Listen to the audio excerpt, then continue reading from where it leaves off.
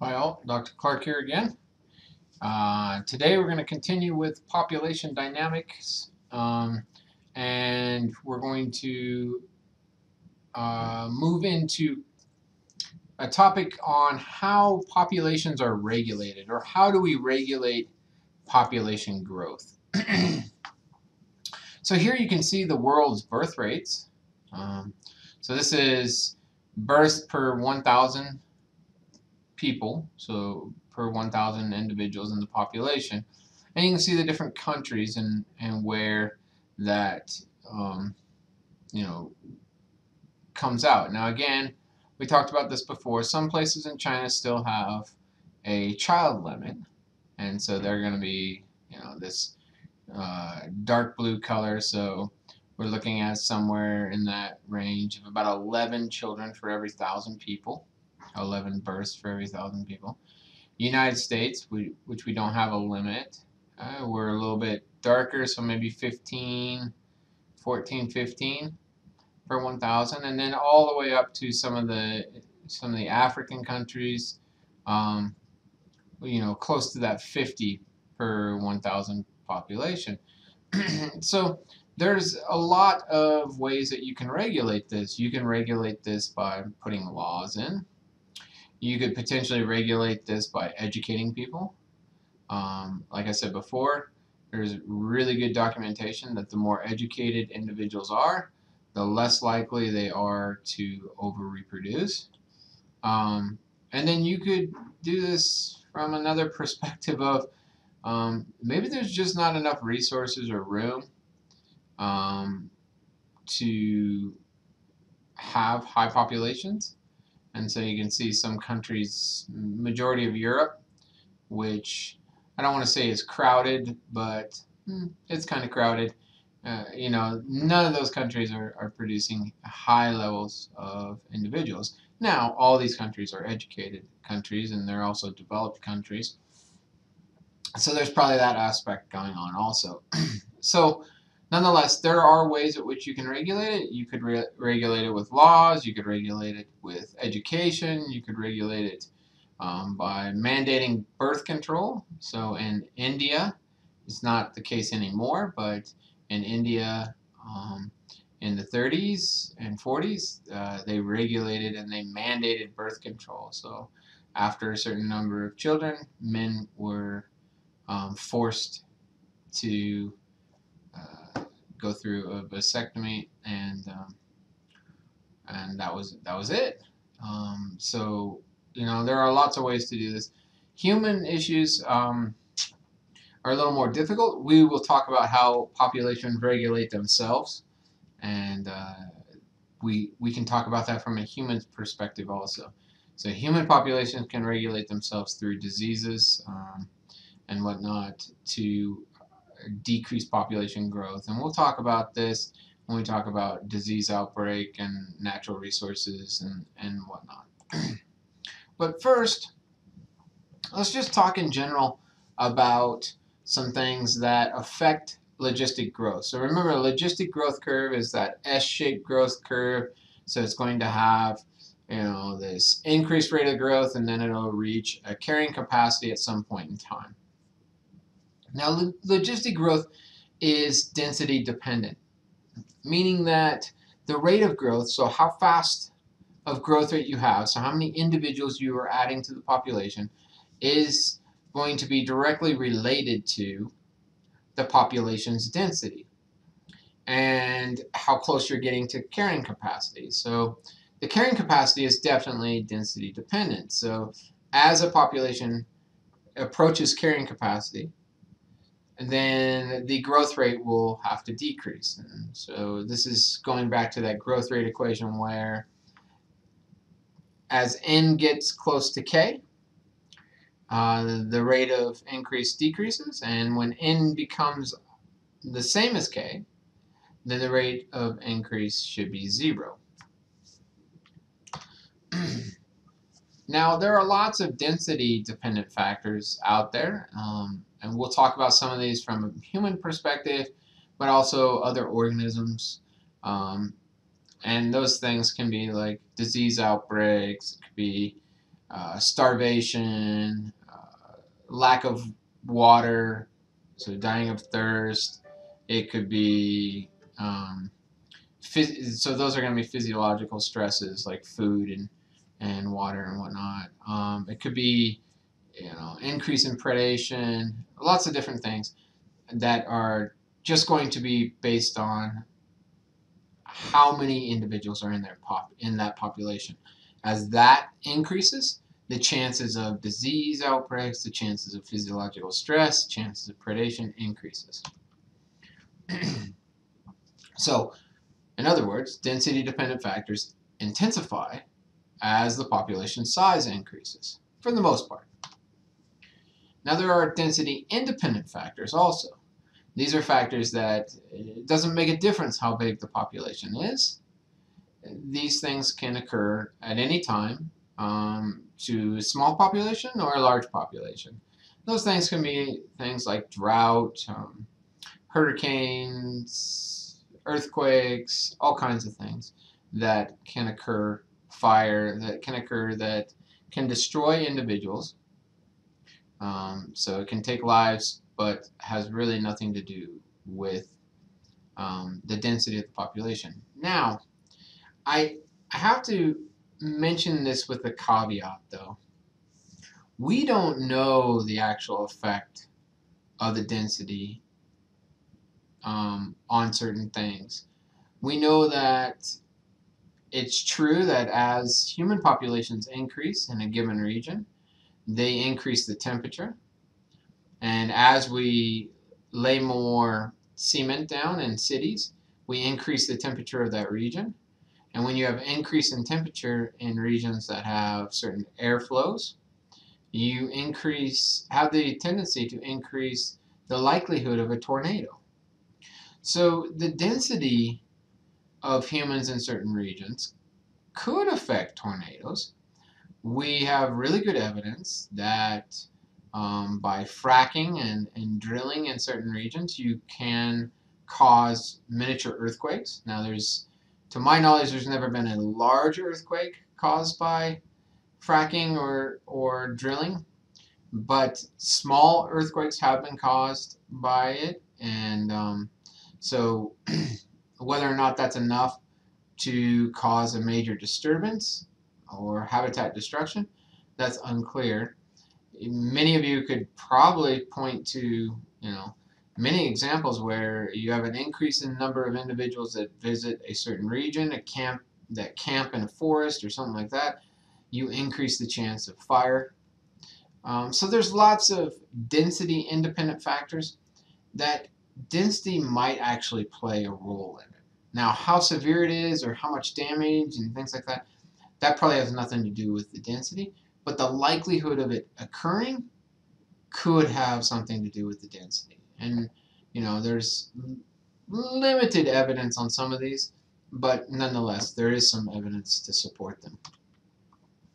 All right, so that takes me to another related topic, and that's how are we going to classify different types of species when it comes to the rate at which they can grow. So we do this by two kind of categories. We put some species in what we call R-selected species, which means they have a high reproductive rate and they have a high mortality. And often they'll have no parental care. And so it's normally just put as many eggs, as many offspring out in the environment. A lot of them are going to die, um, but some will survive. That's kind of R-selected species. Versus a K-selected species, which is going to be have very few offspring. Those offspring are going to grow, grow very slowly and going to have a lot of parental care, a lot of energy put into a single offspring, and they might live for a lot longer. So these are really kind of two uh, two ways at which species can reproduce. Now, there are other species that occur kind of in the middle. Um, so it's like a, it's a R slash K species. Um, so not quite either one, but uh, and we'll look at some distinct features of R and K species on the next slide. And you probably could come up with some species that kind of fit the bill for each one. So R selected species, I'll just go through a couple of these. Again, they often have really short life. They mature really young.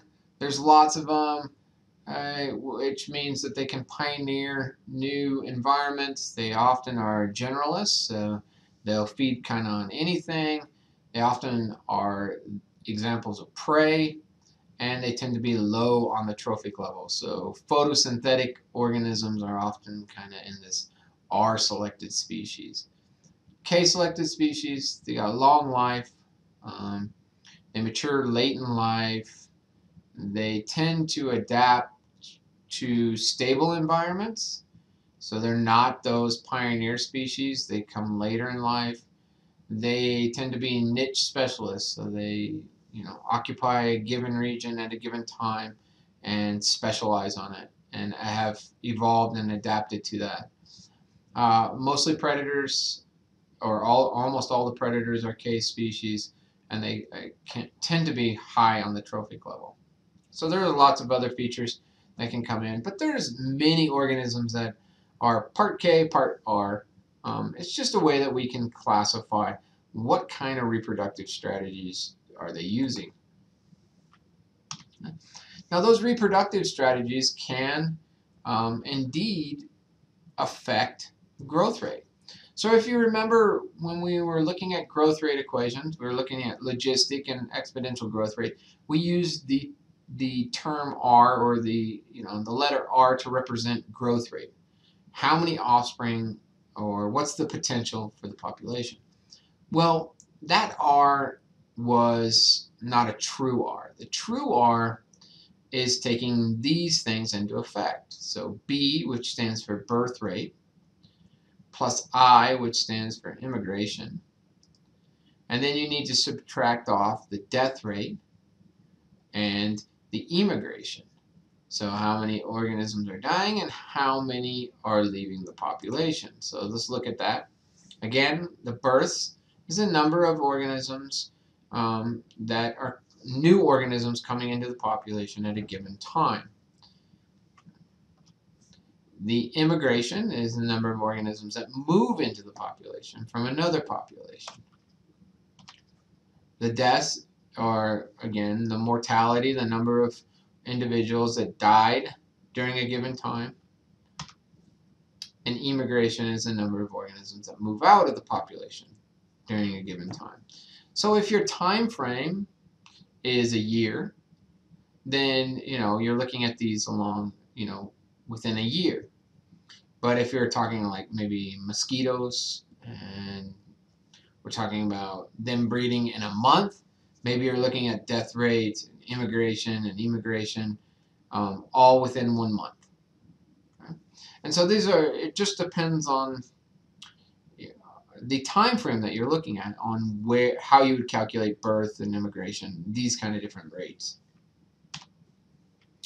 All right, so that kind of brings me to another piece where that death piece comes in, and that has to do with the maximum lifespan of a species. And lots of different organisms have different lifespans. And so a lifespan is, um, well, it can be can be a couple things. So it can be represented as the oldest that an individual has ever been documented. That's kind of a uh, poor representation of lifespan. So often we just take what's the average that this organism will last. So the average lifespan of say like a male human in a developed country is somewhere around 75 years old.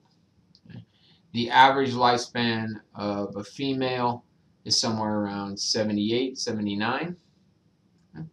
Now, the maximum lifespan, though, the maximum life of uh, a human, I think the oldest human ever was 122 or something around that range.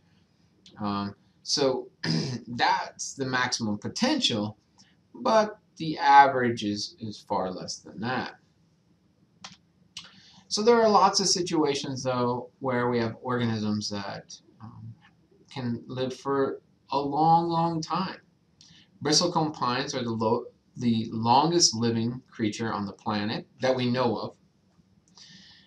And, you know, some of them are, you know, 4,000 plus years old.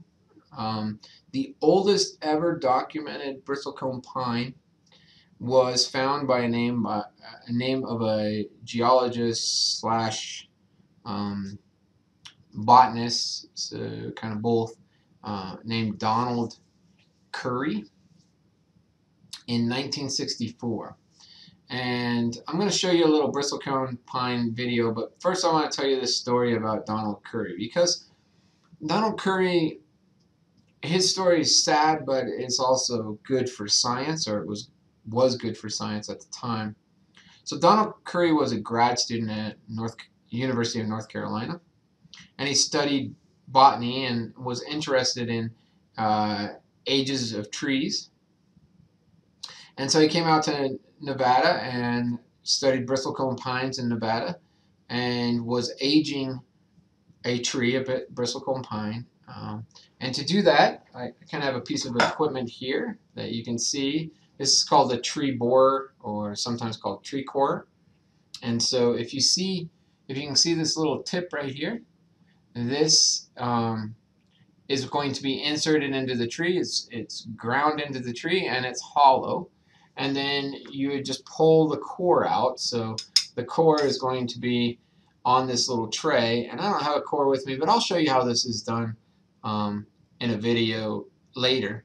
But you pull the core out and then you count the rings. Most of you have counted rings of trees before in elementary school.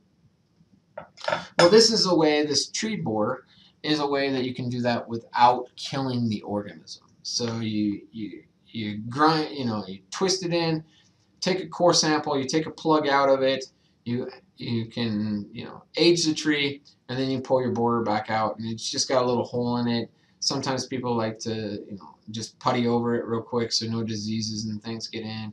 Some people will just take the, the core after they've read it and push it right back into the tree. Um, but the tree itself will often excrete um, a large amount of sap out that hole and protect itself. But the tree's alive. Now here's how the story goes with Donald Currey. In 64 he is um, checking out a tree uh, and it's right now it's known as the oldest tree um, ever detected, the oldest organism ever detected. So he was coring the tree and using a core probably much larger than this to get um, into it, but coring the tree, and I guess the story goes as his core got stuck in the tree and he couldn't get it out. Um, so the park ranger at the time decided, hey, why don't we just cut the tree down, get your core out? And they did.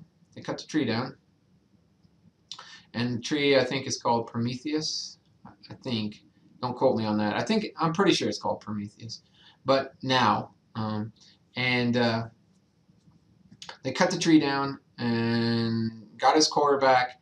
But then, to his surprise, and the park ranger's surprise, and pretty much everyone's surprise, they started counting the rings on the tree, the growth, the annuli on the tree, and it ended up being over 5,000 years old, that tree was. And so that would have been the longest um, living organism that we have documentation of. Now you can still go see bristlecone pines um, in Nevada and California um, and Utah, and you know some of these are ancient trees. Um, you know, uh, well over 4,000 years old.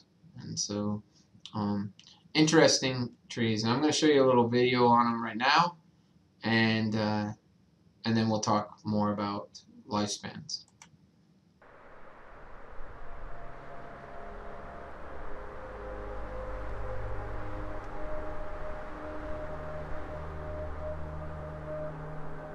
High above the normal tree line, clenched against the eastern limit of California, dwell the ancient bristlecone pines, the oldest living creatures on Earth. Many of these ancient trees were seedlings when the pyramids were built, mature trees by the time of Christ. Most of this extremely dense wood, what we can actually see, is dead. It's a superstructure, not unlike a coral that supports and protects the thin ribbon of life within. The oldest of these trees are more than 4,700 years old. They thrive today despite intimidating odds. A wild, prophetic force of nature, they are survivors. Their stories have much to teach us about change.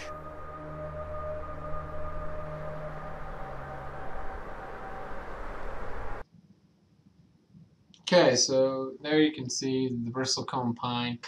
I mean, it's tough for people to think about, but we're, you know, we're in the year 2018, and you know, majority of the bristlecone pines that you can find are 2,000 older, 2,000 years older than that.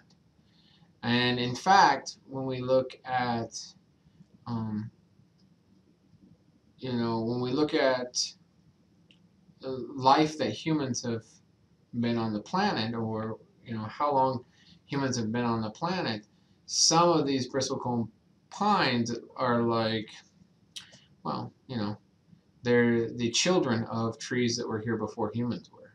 Um, so, you know, it's pretty impressive to think about that. Uh, I mean, given that humans have been around, maybe grandchildren, humans have been around um, about 20,000 years or so. Years. So in modern form, about 20,000 years. Uh, so, uh, you know, some of these organisms, 5,000 years old, uh, and uh, still in the landscape. And I mean, that's pretty impressive. Humans, you know, up to 120. Like I said, I think 122 is the maximum ever recorded. And then if we're talking about things like microbes, like bacteria or archaea or things like that, you know, some of them only live for a couple hours. And so the maximum lifespan for organisms can be very different. So that difference in maximum lifespan can be projected on curves, which we call survivorship curves.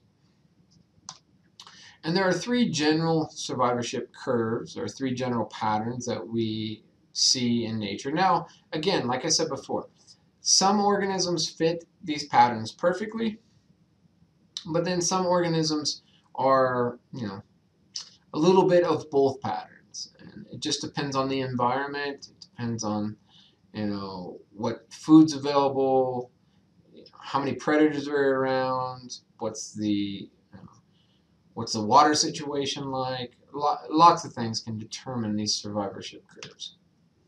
So one is, this is typically, typically, called survivorship curve number one, which is a full physiological lifespan if the organism survives childhood. So as long as the organism survives childhood, they have a pretty full lifespan. So elephants, bears, humans, you know, lots of organisms, um, mainly mammals, big mammals, uh, fit this kind of perspectives. But that being said, some sharks will fit this um, perspective also, and uh, you know, uh, other organisms that might have just a couple offspring that have to make it. Once they make it, they live a very long lifespan. The second curve, which is called survivorship curve 2, um, is the death is really unrelated to the age. So not that you have consistent death rates, but you're just as likely as a juvenile or a child to die than you are as a middle-aged individual than you are kind of as an older individual. Now, uh, eventually you'll reach your maximum, and then death is inevitable.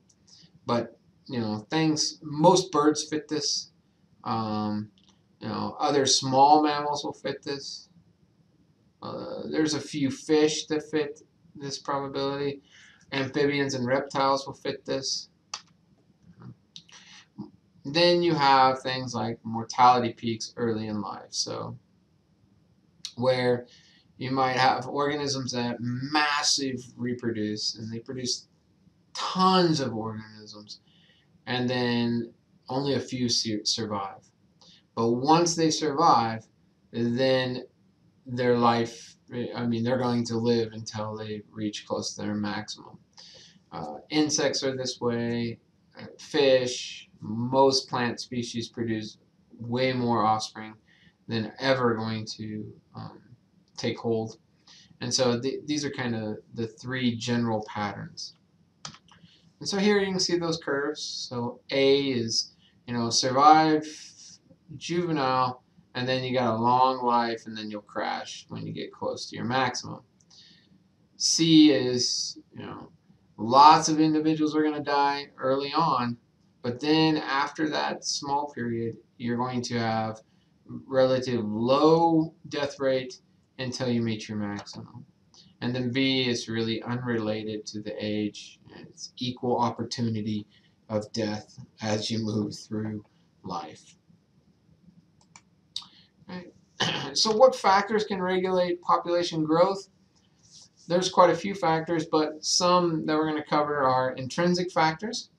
These are factors that are between organisms of the same species. So you could have competition for food, mates, uh, habitat, shelter, water, lots of things that would fit in the intrinsic factor.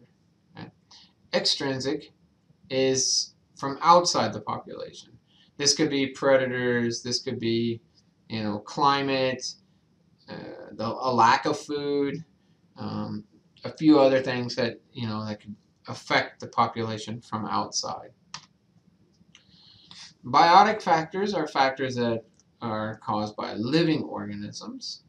And most of the time it's a density dependent thing. So if we're talking about diseases and parasites and predation, um, these are all density dependent. So as you increase the number of bunnies on the landscape, you increase the number of predators on the landscape. As you increase the number of people in a classroom, you increase the chances that they're going to pass um, that you know virus from one individual to the next, or you know that bacteria from one individual to the next. These are density dependent factors. Abiotic factors. So abiotic factors are non-living factors that, again, they can decrease the density of the population but really have nothing to do with how many individuals are in the population. So, you know, a drought, uh, floods, hurricanes, tornadoes, fire, these are all often um, called density independent, although some might be density dependent, okay? but they are definitely abiotic factors. These are factors that are not living and they can decrease the number of individuals or cause habitat destruction. So abiotic factors can alter the biotic factors, which then can have an extrinsic or intrinsic factor or effect on a population. So these don't all happen in a closed bubble or in a system where there's no interaction. Abiotic factors can change the biotic factors which then can have an effect on a population. That happens all the time. Okay.